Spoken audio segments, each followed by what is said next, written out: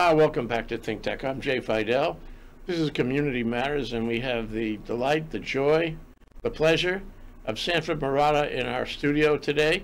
Sanford was uh, a director of uh, Think Tech for a long time, and uh, Sanford has um, explored creativity in his in his uh, what shall I say more mature years. Uh, he has done so many things, and I want to reveal his most recent thing to you. Hi, Sanford. How are you? I'm fine, Jay. Thank you for having me. It's a delight. Well, yeah, I you know I, I really like uh, following you around and checking out what you're doing. Uh, Carol Monley and I went to a show that you were involved in for calligraphy. What was that a couple of years ago?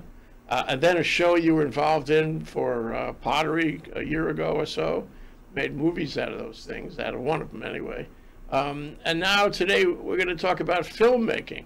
So, can you explain the relationship of calligraphy and pottery and filmmaking? Will you please? well, they all have a basis of creativity. And so each one of those elements in creativity can be expressed. And I believe that we express our true nature through things we create. And that would be the common connection amongst those three things filmmaking, pottery, and in my case, Japanese calligraphy. Let's talk about calligraphy first, because I have a feeling that was your first love. Um, how did you get into that, and what did you do with it, and uh, what was the, you know, what was the experience? Well, it's difficult to say how I got into it because I'm interested in very many different things. However, somewhere along the line, I decided I need to find out who I am and try to discover who I am through my cultural DNA. Consequently, I visited Japan a lot. And in that process, I started to investigate and learn about some of the artistic efforts that are found in Japan. Calligraphy being one of them, one of the main uh, areas in which people express themselves. So I decided to study Japanese calligraphy, which I've been doing now for about seven or eight years. And I discovered it's uh, both very, very uh, inspiring and also very, very difficult. Hmm. What's difficult about it? It's just well, writing only, characters down, right? Well, you only get one chance. Oh. When you write the calligraphy, in, in this case, we're doing ink on paper you, uh, you do it in seconds and you can't go back and undo it or cover it up or touch it up. Uh, it's one chance. Conse consequently, we do many, many, many pieces before we get to something that we think, well, it's, it's okay. So you throw it out if it's not, it's not up to standard then? Well, it's, it's you know, the, the important thing to me in whatever we do, pottery, filmmaking, or calligraphy, I guess any art, music, dance, is to satisfy yourself. If you're fulfilled and happy with what you produce, then there's um, no more than that. We don't need to satisfy anyone else other than ourselves, and that's what I believe in. Calligraphy has a has a specific meaning, though. I mean, you, you read a, a Japanese calligraphy, and it tells you something. It identifies something. It it gives you a profundity of some sort, right? I mean, it's it's not just art. Absolutely, and that really that is what really drives me because kanji, which means Chinese word or Chinese character, comes from exactly China. It's uh, it's Chinese characters written by the uh, Chinese scholars over several thousand years ago, and then imported and adopted by the Japanese. So each character has components to it because it comes from an ideogram which is a reflection of the expression that is contained in that character. In other words, let's say something like tree. Tree comes from an ideogram of a tree, a symbol of a tree, and eventually developed into what it is today as a character. And so if you study that, you understand where that uh, character comes from, then you can learn a little bit about the culture because language is culture, and consequently, that is what really, really fascinates me. And you see the tree. You learn about the essence of the tree through the filter of that culture. You learn ultimately about the tree that you are portraying. Am I right? Yes, because not only are we conveying tree per se, but then you can understand the etymology of the of the word. You go back and understand where did the word come from, where did the language come from, where did the symbol of the language come from. And that is an important cultural driver for me because I learned so much about Japanese culture and to some degree Chinese culture through, in this case, kanji. Mm. So you won some you won some prizes and contests in uh, Japanese calligraphy, didn't you? No, I wouldn't. I wouldn't say won any prizes. We've had some exhibits, and some of our work was exhibited. And when I say our, the class that I belong to, Toka Shodo is the class that I attend. We've had a, some exhibits, and so uh, my my work has been uh, shown there, but certainly not not prize-worthy. This is at the museum. I remember I saw your work at the museum. Honolulu well, Museum. Right. The, the work you saw at the at Linekona, the Honolulu Museum of Art School, is uh, pottery. We've had uh, several exhibitions there, and uh, what you saw was some of the pottery that I, I did and was accepted uh, for showing. Well, let's talk about pottery. Okay. You, you know, you, you talk about how, um, you know, calligraphy is different and it's more difficult and I guess that by, you know, by uh, inference, the pottery is easier. Why is pottery easier than calligraphy? Well, as I mentioned, calligraphy is one shot. You do it once, and uh, it's, it's completed usually in a few seconds. Sometimes it could take longer if you're writing something much longer. So say a few seconds to a few minutes. But in pottery, you are dealing with clay, and it could take a long, long, long time. And if you are not happy with it, you can fold the clay back into a mass and start all over again. Plus, it has many, many, many steps. So it goes from preparation of the clay to making the piece to a low firing, which is called bisque firing, to glazing, and then high firing, or what we call firing in a gas kiln, and you have a final piece. And that whole process could take a lot of time. We're talking about potentially hours and weeks. So it's a big difference. And you can correct things. You, you can, can, correct it. You can change it, correct it, add to it. Uh, and sometimes when you're working with pottery, what you started out with in terms of what you had intended to make changes over time because sometimes the clay will kind of lead you to where that final form should be or um, might be better than what you have thought of previously as you intended. It reminds me of that French concept of the statue is always in, in the marble and the work is always in the clay. It, you have to find it, that's all. well, yes, you know, the, the interesting thing to me and what I talk about a lot when, when, when I um, talk about how we do pottery is that we obviously need to have the skill. We need the fundamental skill to be able to execute a form. However, beyond that, we need to rely on our intuition.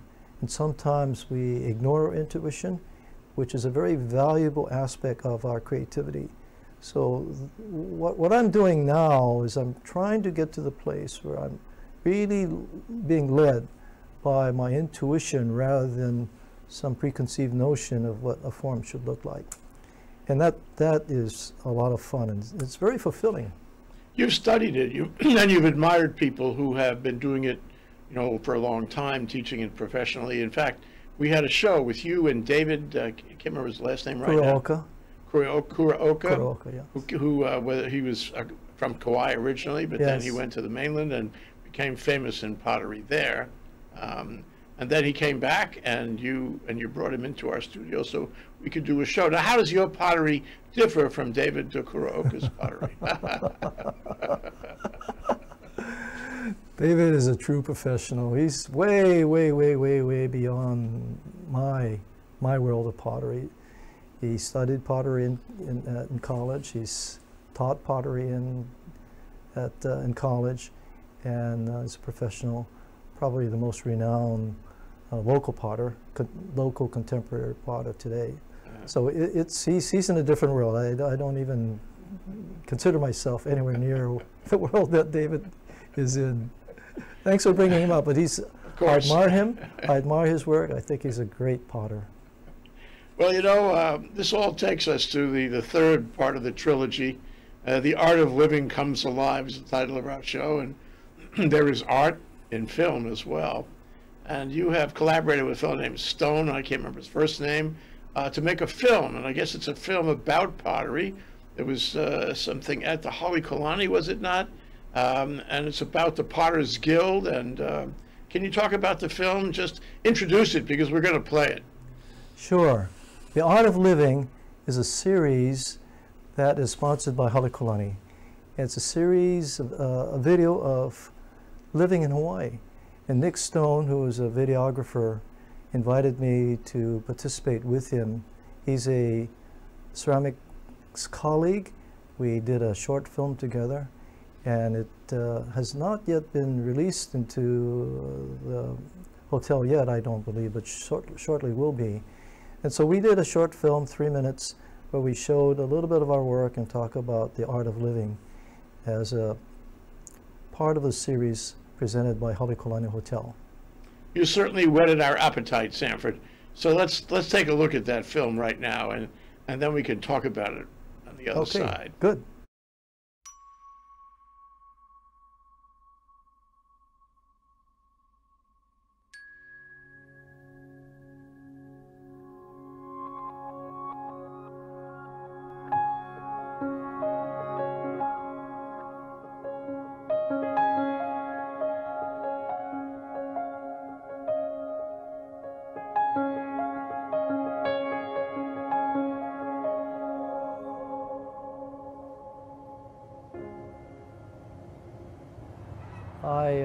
Wanted to know more about myself and why I am the way I am. So I visited Japan a lot. If you let yourself almost intuitively follow the clay, then you quiet your mind and let your body and spirit guide you. And that way we find a way to capture the essence of our being. How do you make it show something about who you are? And that's sort of the artistry.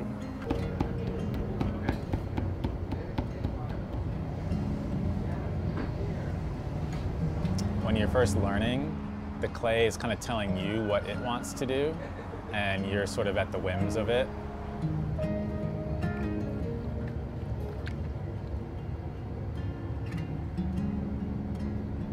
Sorts of places along the way for it to go wrong, for it to crack, to break, to warp. A little wobbly. Oh boy. In the process, there's so much that you cannot control. So this is serendipitous aspect about pottery. Uh, starting with the clay, you know, you have certain clay and that clay can do certain things, but it can't do other things.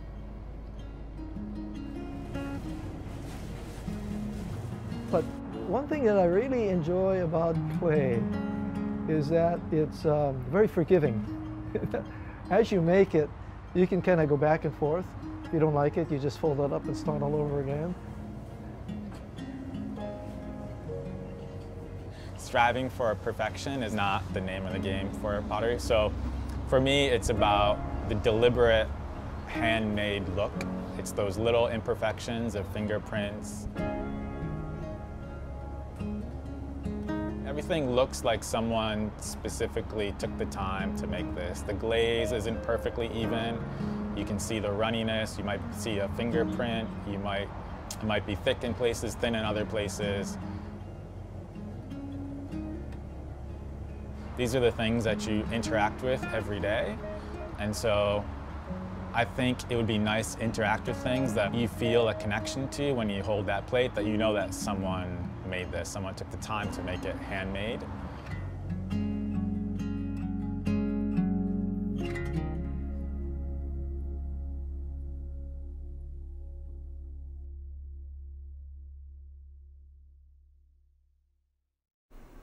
Sanford Murata and uh, Nick Stone.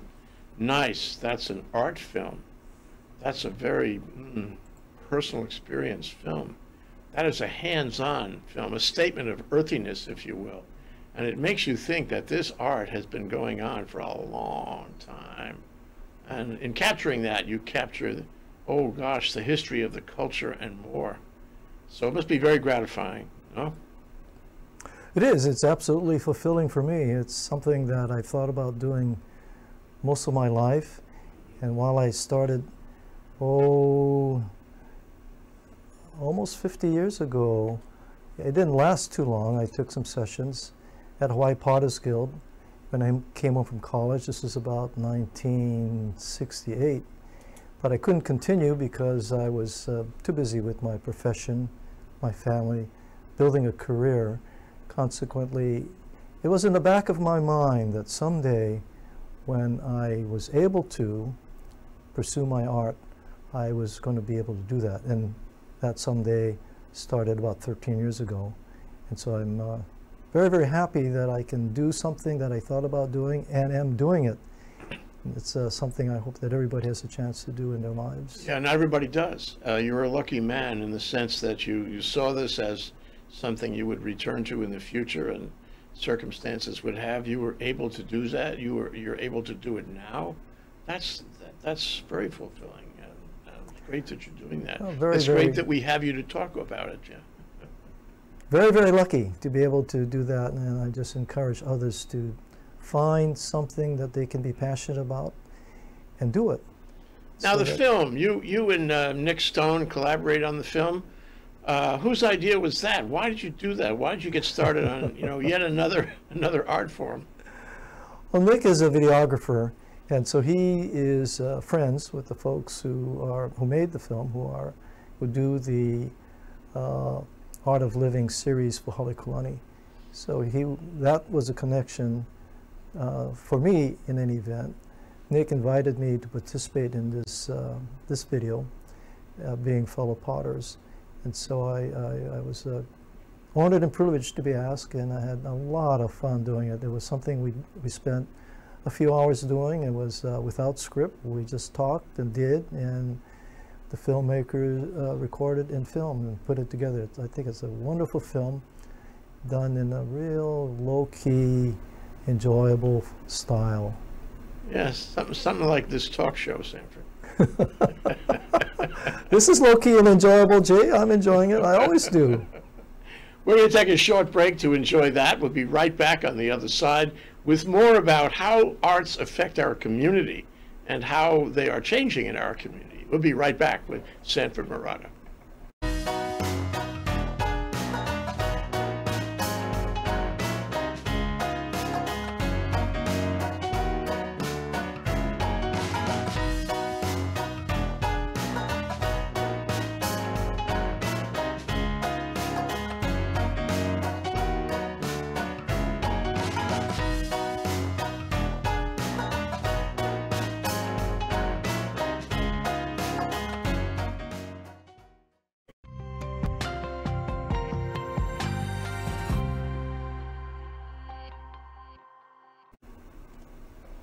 We're studying the art of life. The art of life comes alive uh, here on Community Matters with Sanford Murata, uh, who is involved in a number of arts and who has mm, built a lot of great things around his art. But you know, I wonder, Sanford, I, you know, wh- what is it like out there? Are your are your groups, are your communities full of people? Are they young, old? What's the demographic? Uh, how enthusiastic are they? And how much um, vitality do they have for continuing the art going forward? Well, there seems to be a resurrection in of arts and crafts uh, throughout the islands. I think we have lots of very vital, vibrant places and studios of people doing things in their art, in their craft, in whatever they're doing to pursue their creativity. I practice at Hawaii Potters Guild, which was formed in 1967 or 68, I believe. Uh, we're now in our 52nd year at uh, next to the Church of the Crossroads in Mo'ili'ili. In fact, Hawaii Potters Guild was sponsored and started by members of Church of the Crossroads. about 52 years ago. Was there the Reverend McPherson at the time? I, I don't know who the Reverend was at that time, uh, but it basically was formed by, um, as, I, as I've been told, a group of members, mainly women, wanted to have some kind of community outreach and decided that pottery would be a good way to do it. And the early teachers at uh, Hawaii Potters Guild were University of Hawaii uh, either students or people who had just um, uh, graduated from University of Hawaii Manoa in ceramics, and they were the early teachers. Uh, my early teachers were three from the University of Hawaii Manoa, and so it was um, very, for me, uh, great opportunity to get my hands back into pottery, although I did take a long, long break before I re returned uh, more recently. And my wife was there too in the uh, late '60s, early '70s. She was she was doing pottery at the, at the Potter's Guild in the Church of the Crossroads. But you know, one thing is there was there was a um, uh, a large oh, it was called um, oh it was I forget the name, but it was in Kaka'ako. It was an old building. Uh, the Ironworks, does that sound right? No, it's, the, it's uh, Jay. It's the foundry. Foundry, thank The you. foundry, the foundry. yes. All kinds of arts and crafts in there. Right, right. Little shops you could rent uh, just a few feet of space and, and do your craft. Right. Were you involved in that? Do you know about it? Were you there? I know a lot about it. I did not practice there, but I had, I spent a lot of time there. I knew a lot of people who did practice there. In fact, some of them who practice there still have some attachment to Hawaii Potters Guild. Uh, Bob McWilliams, for instance, who is a uh, recently retired uh, teacher of ceramics at Punahou School, uh, teaches at Hawaii Potters Guild, and I believe he had uh, an active studio at the foundry early on. Yeah. Oh, that was quite a place. It was uh, an amazing was. place to be because everybody was so alive and so active and so interested and all creating night and day, and, and they were feeding off each other. You know, they were bouncing off their ideas and showing other people their products and so forth. Um, the other thing that comes to mind actually is, is also in Kaka'ako. And it's an, it's an ad I think I saw in the paper within the last couple of days um, about, uh, about art lofts. Right. Uh, do you know about that project? It sounds very interesting. I do. I'm, I'm so happy that we have something like that. Basically, it's a place where artists can afford to live, they pay uh, rent, uh, and they have space not only to live but also to create. So they have, uh, it's kind of like a live work environment, and it's all um, people in the arts, many, many, many different kinds of arts but they come together and have this creative environment. I think we're very lucky to have it, and I hope that we can have more of those kinds of environments. And I hope someday we can have something like the Foundry recreated, where artists can come together and have studios, have an opportunity to work together, and share the cost, and become somewhat more affordable than working on your own. Yeah, land and occupancy is so expensive, it's hard to get even a few square feet of space, much less uh, a few square feet of space in, in proximity to other similarly inclined artists. Uh, and, and that leads me to the question of, uh, you know, where are we going on this? Are kids learning this in school? Do they come out of school with a, with a, uh, an appetite for art? Um, you know, and I include music when I say that, by the way. Uh, do they come out of school with, um, you know, the idea that they will either do art right then, or like you, they will someday later do art, and they will have that kind of uh, fulfillment in their lives? Um, we need that. You know, great art. What do they say? Great art builds a great community, or a great community needs great art. Uh, do we have that in the offing here? Well, that's a great question. Very, very difficult to answer. I think it really depends on the individual and the individual place. It depends on if there is somebody who is supportive of the art, will either champion the art through resources, money, or effort, or leadership to create an environment where art is exposed to young people and they can then take it up uh, as a profession or even later in life as a hobby.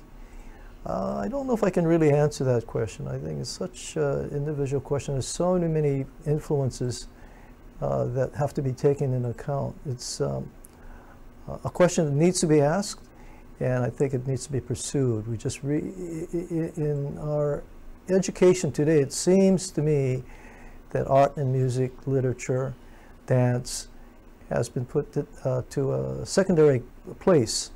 And uh, it's too bad because it really is as important as anything else we, we study. Well, we talked about uh, you the museum as a venue. We talked about uh, the foundry. We've talked about, um, gee, the, the art lofts I mentioned, and and other places where you can, you know, do, do your art. But all of those are private enterprise, um, and I wonder uh, how you feel about the the benefit of having government get into this. Uh, should you know? Right now we have the museum, uh, the the uh, the Hawaii um, in, uh, Art Museum on see right next to the Capitol there, High HISAM, Hawaii State Yes. Museum of Art, um, but not not much more. And uh, the, the government spends a certain amount of money acquiring pieces for that museum Right. um, but not much more. And I and I wonder how you feel about government um, proactive steps here to advance uh, the taste for art, the production of art, the excellence of art in Hawaii. I feel very strongly about it. We need to support our artists, our craftsmen, and in all kinds of other creative endeavors, we need to have public support. I think it's part of our culture, it's part of our society. It's unfortunate that today, particularly, our uh, finances get directed to things that are rather short-lived and maybe has some amount of support by the politicians. But I feel it is uh, it's it, the arts and crafts culture are sacrificed because of the emphasis on some things that I feel, feel long term is not that critical. Yeah, people don't realize, and certainly the government doesn't realize the the value of of inculcating our, our youth and our, our citizens in general with a, a taste for art. It's not just the art; it's the experience, as as for you, and it, it helps not only uh, what do we entitle this uh, the art of life. It helps the quality of life in these islands to have those things around us, to surround ourselves with beauty and the creativity that, that creates beauty. So I really appreciate what you're doing, Sanford, and I hope you can come back and share with us your adventures in art. Uh, who knows where it will lead you next? Thank you so much, Gladly. You're welcome. Gladly. Thank you. Aloha. Aloha.